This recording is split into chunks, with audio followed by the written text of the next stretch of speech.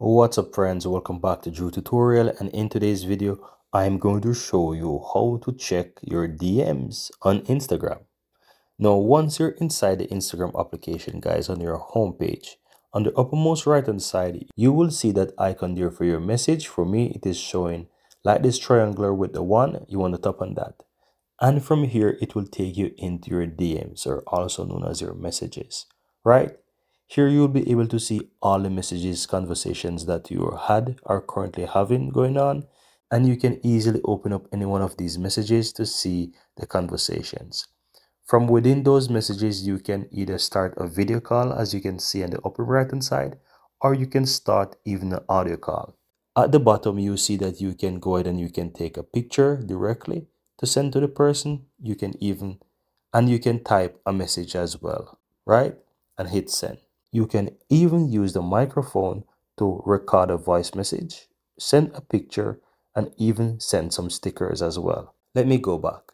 Also, if you look to the top, you can easily find the search button there that you can search for a particular person so that you can start a conversation. Just below the search field, you have various persons shown here and you can see some of your friends there and you can see that they're online. This is basically showing you your current friends who are online at the moment.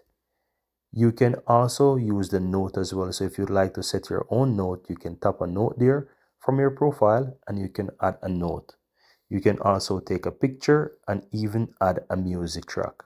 If you're searching for a message and you're not able to find it, it could be that it's hidden.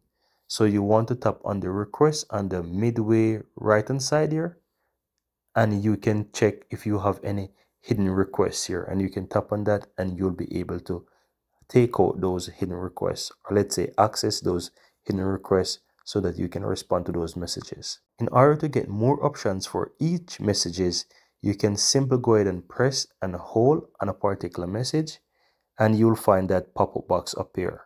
You can pin it, you can delete it, you can mute the message and even mute calls. If you'd like to also start like a direct message, you can use the message icon on the uppermost right hand side. So if you click on that, you can simply find a person and you can start a message there.